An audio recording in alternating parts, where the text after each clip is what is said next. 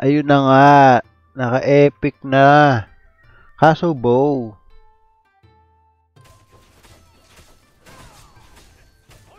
Paano yun? Alam ko pwede atang i-exchange yun. Yun pwede mag-exchange.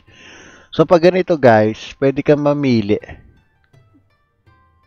So, twin sword tayo. Siyempre. Kailangan mo lang talaga ng 1,000 diamonds. Para mapamalit to. Okay. Change, change. To dagger. Possible. Change result. Random din pala, pero pwede mong i-choose kung anong uh, weapon. So, ano tayo? Twin sword. Buti meron tayong diamond. Sana yung may dual damage. Yan yung build ko eh.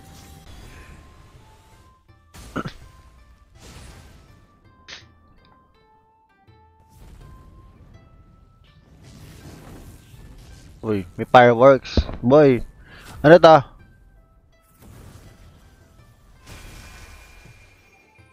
Wrath of Suffering. Sheesh! Confirm. Okay na yan. Wala na tayong ano. Skill damage amplification. The bonus damage damage against boss type. Ah.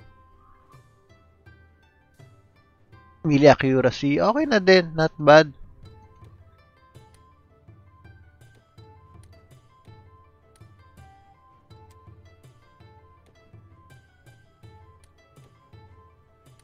Not bad. It, kaysa i-roll mo uli.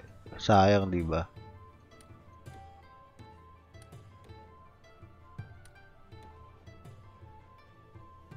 Nasaan ba may double damage dito? Ito ata yun. Hindi.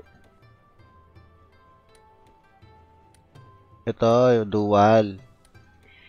Ito yung may reco reckoning. Nga lang ito, bonus sa boss. okay na din kaysa wala, 'di ba? So at least meron na tayong ano.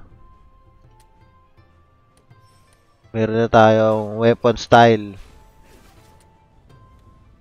Equip.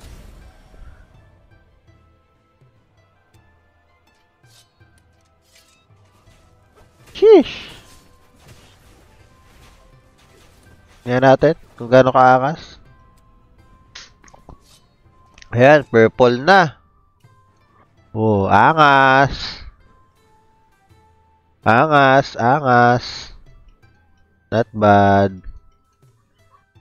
Not bad. Dalawang salmon lang yon. Meron pa tayo, oh. Oh, nakuha lang natin sa battle pass.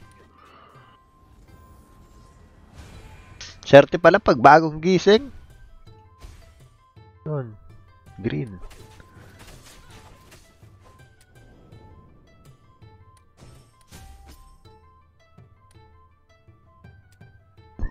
Okay, wala. Hindi nag-success yung combine. Rapsi. Ilan na attack speed ko? 102 pa rin. Pero,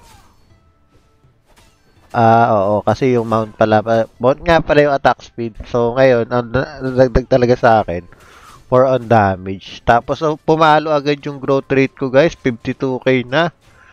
So, from 46, no? 6k din yung dagdag. Rapsi. Not bad.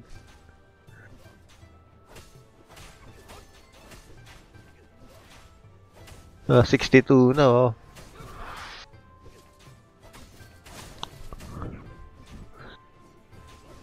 Not bad, not bad.